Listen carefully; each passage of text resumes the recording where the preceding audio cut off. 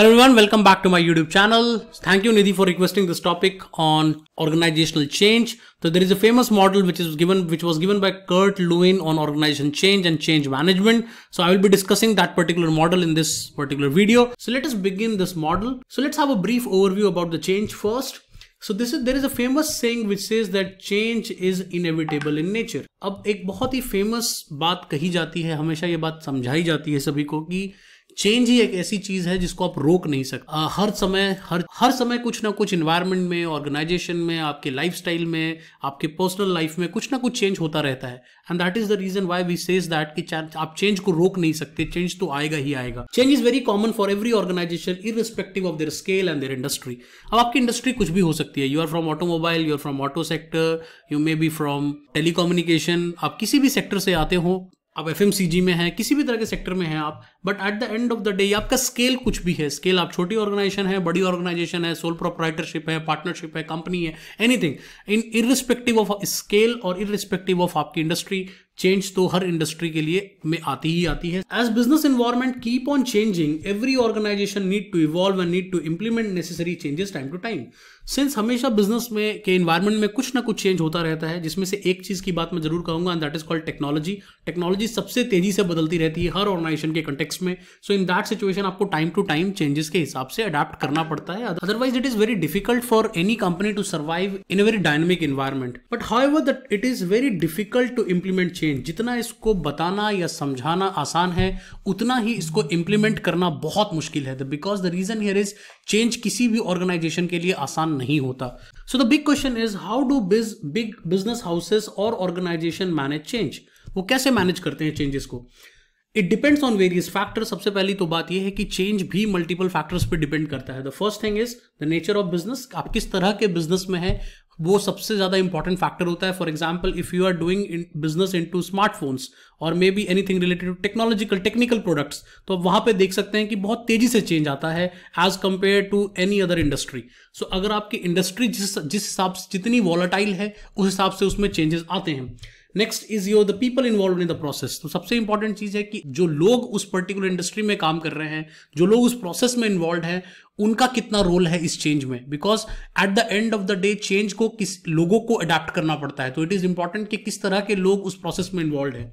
And third how well people understand the importance of change in the process and its process तो सबसे important चीज़, जो तीसरी चीज़ सबसे important होती है कि जो लोग इन्वॉल्व हैं इस पूरे प्रोसेस में या जो लोग उन ऑर्गेनाइजेशन में काम कर रहे हैं, वो कितनी इंपॉर्टेंस समझते हैं इस चेंज का और कितनी जल्दी उसको एक्सेप्ट कर लेते हैं। तो इस तरह के मल्टीपल चीज़ों पर यह डिपेंड करता है। इन्हीं चीज़ों को एनालाइज करके कर्ट लुइन ने एक मॉडल बनाया and that model was called as organisational change model so in 1940s Kurt Lewin developed a model to explain the organisational change process तो बेसिकली उन्होंने 1940s में एक मॉडल दिया, काफ़ी पुराना मॉडल है बट आज के भी डेट में उतना ही रेलिवेंट है बिकॉज़ इन्होंने बेसिकली चेंज के स्टेजेस बताए थे और साथ में ये भी बताया था कि what strategies we can adapt on दो stages so it was it was having three stages में तीन स्टेजेस हैं. The first is called unfreeze The second stage is called change and the third stage is called refreeze. So let us explain, let me explain each of these stage in detail now.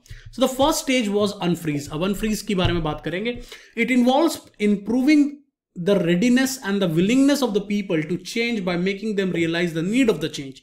सबसे पहली चीज जो आपको करनी है वो ये करनी है कि आपको लोगों को रेडी करना है आपको लोगों को विलिंग बनाना है। आप किसी पर फोर्सफुली चेंज नहीं अप्लाई कर सकते। तो आपको उनको कहीं ना कहीं विलिंगनेस से उनको चेंज लाना है। तो उनको आपको यह समझाना पड़ेगा that what is the need of change आपको इस चेंज को या किसी भी तरह का अगर चेंज आ रहा है, कोई नई टेक्नोलॉजी ही आ रही है तो उस टेक्नोलॉजी को क्यों लाना ज़रूरी है and why you need to adapt so ये चीज़ अगर आप लोगों को समझा देंगे, तभी उनमें एक रेडीनेस भी दिखेगी और एक विलिंगनेस भी दिखेगा, जो फ़र्स्ट स्टेज में आपको करना पड़ेगा।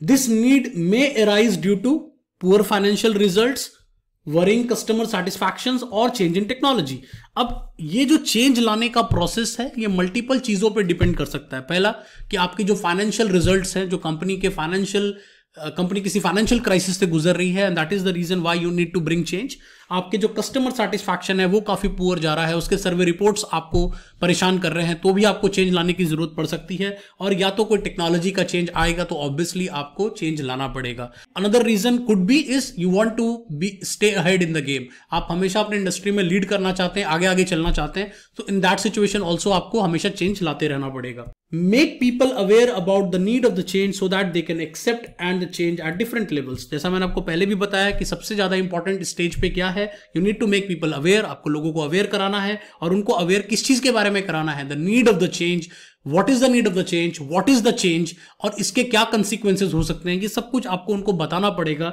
so that they can accept this change at different levels तो इस स्टेज पर आपके लिए क्या क्या इंपॉर्टेंट है? इस स्टेज पर आपके लिए इंपॉर्टेंट है कि आप इफ़ेक्टिव कम्युनिकेशन करें, आप लोगों को क्लियरली बताएँ, उनको अवेयर कराएँ about the need of the change more importantly आप उनको सपोर्ट प्रोवाइड करें, आप उनको इन्वॉल्व करने की कोशिश करें उस चेंज में। यहाँ पे सबसे इंपॉर्टेंट होती है कि टॉप मैनेजमेंट कितना इन्वॉल्व होकर के नीचे से नीचे लेवल वाले लोगों को समझा रही है। जितना बेटर वो उसको, उनको कम्युनिकेट कर पाएगी, जितना बेटर उनको वो समझा पाएगी, उतना ज़्यादा लोगों में रेडीनेस और विलिंगनेस नज़र आएगा और शायद वो एक्सेप्ट भी कर ले उस चीज़ को और फॉलो करें। Next is the first part the first the first part of the change process is usually most difficult and stressful एक चीज़ जो हमें समझनी है, वो ये समझनी है कि ये जो फ़र्स्ट स्टेज होता है, ये सबसे स्ट्रेसफुल होता है, सबसे ज़्यादा मुश्किलों भरा होता है। The reason here is that लोगों को समझा पाना कि उस चेंज की कितनी ज़रूरत है, ये बहुत मुश्किल है, ये इतना आसान नहीं है। You make you may evoke strong reaction in the people as they will show resistance from any kind of change इस स्टेज पर आपको बहुत सारा रेजिस्टेंस भी देखने को मिलता है। कई बार स्ट्राइक्स हो जाती हैं ऑर्गेनाइजेशन में लॉकडाउन हो जाता है लोगों का सपोर्ट नहीं मिलता, लोग पे, लोग काम पे आना बंद कर देते हैं। इस तरह की सारी चीज़ें आपको देखने को मिलती हैं बिकॉज़ ये जो फ़र्स्ट स्टेज है, ये काफ़ी ज़्यादा एक तरह का crisis management kind of stage है। वाई बिकॉज़ आपको खुद से एक कंट्रोल्ड क्राइसिस क्रिएट करना है। कहीं ना कहीं आप लोगों को अनफ्रीज कर रहे हैं। जो वो कर रहे थे, उनके कंफर्ट जोन से आप उनको बाहर निकालना चाहते हैं अनफ्रीज करना चाहते हैं। और हमेशा जब भी आप अनफ्रीज करेंगे, उनको, उनके कंफर्ट जोन से निकालेंगे तो एक तरह का क्राइसिस क्रिएट होगा। एक तरह का कंट्रोल्ड क्राइसिस क्रिएट होगा और उस कंट्रोल्ड क्राइसिस में ही अगर वो क्राइसिस क्रिएट नहीं होगा तो वो स्ट्रांग मोटिवेशन लोगों को नहीं मिलेगी इक्विलिब्रियम में आने के लिए। तो वो strong motivation you need that motivation among people so that कि वो क्राइसिस से दोबारा रिकवर कर जाए और वो उस चेंज को एक्सेप्ट कर ले। Without this the motivation you won't get the support and the participation to bring meaningful change तो सबसे ज़्यादा इंपॉर्टेंट यहाँ पर क्या होता है कि आपको लोगों का सपोर्ट मिले, आपको लोगों का इन्वॉल्वमेंट मिले, उनकी पार्टिसिपेशन मिले और वो सिर्फ़ सेल्फ मोटिवेशन से आ सकता है। अगर आप एक कंट्रोल्ड क्राइसिस क्रिएट कर देंगे तो उससे ये मोटिवेशन जनरेट हो जाएगी और शायद आप इक्विलिब्रियम में इस चीज़ को ला सकते हैं।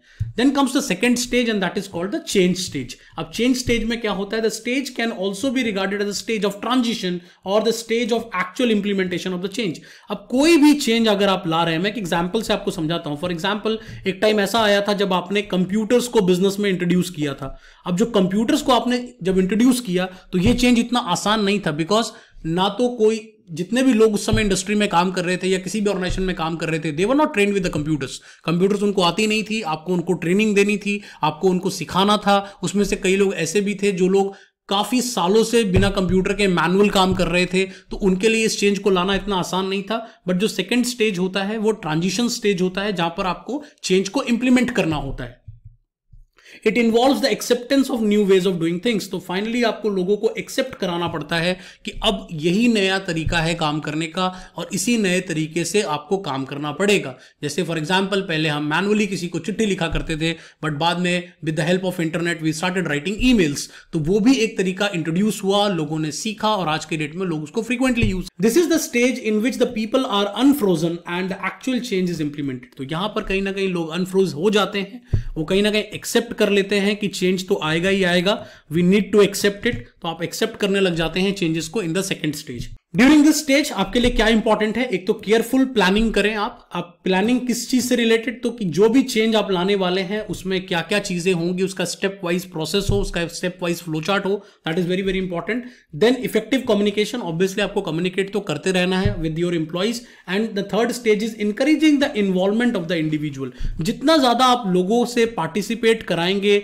जितना ज़्यादा लोगों को ये समझाएँगे, उनको बताएँगे कि किसी ऑर्गेनाइजेशन में कंप्यूटर्स की कितनी इंपॉर्टेंस है या चेंज की कितनी इंपॉर्टेंस है, उतना ज़्यादा ये प्रोसेस आपके लिए आसान होता जाएगा। It is believe that this stage in transition is not that easy due to uncertainty in people और related to consequences on adopting the change process अब इस स्टेज में लोगों में घबराहट होती है, उनमें फियर होता है बिकॉज़ वो चेंज तो कर रहे हैं, उन, वो एक्सेप्ट कर लेते हैं चेंजेस को और चेंजेस करने भी लग जाते हैं चेंज को फॉलो करने लग जाते हैं. But what happens is they are not very sure कि इसके कंसिक्वेंसेज क्या होंगे. आने वाले टाइम में उनको इस चेंज का फ़ायदा होगा या उनका नुकसान होगा.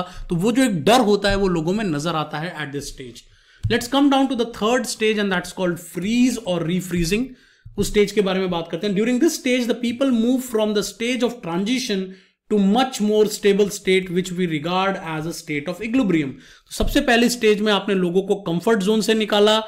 सेकेंड स्टेज में आपने उनको एक्सेप्ट करा दिया कि चेंजेस एक्सेप्ट करनी पड़ेगी।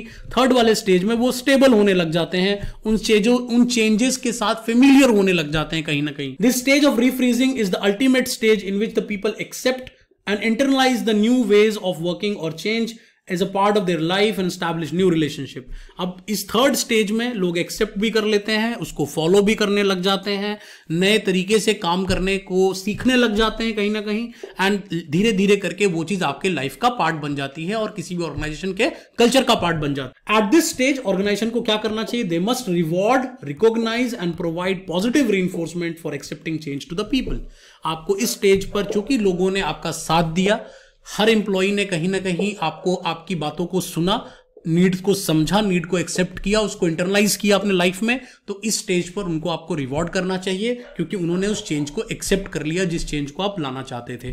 तो इस तरह से these are the three stages propose by Kurt Lewin in the change management process और in the organisational change process so thanks for watching i hope you enjoyed this session do subscribe to my channel and hit the like button and also share with your friends and your colleagues. We'll be meeting in the next session very soon.